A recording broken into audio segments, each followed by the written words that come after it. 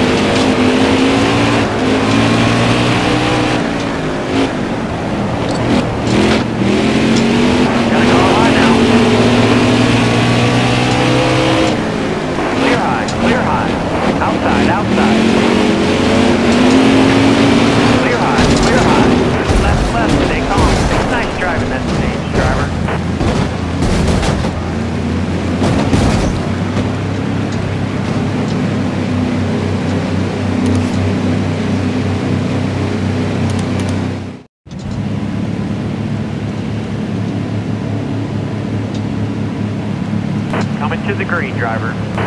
Be ready here.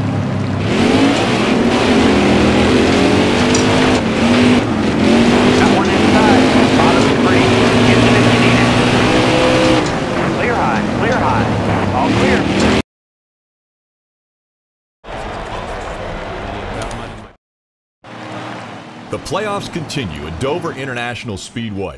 This race marks the beginning of the round of 12. After four drivers were eliminated last week, the drivers are ready. Miles the Monster is ready. So pull up a chair. NASCAR Playoff Racing is coming up next.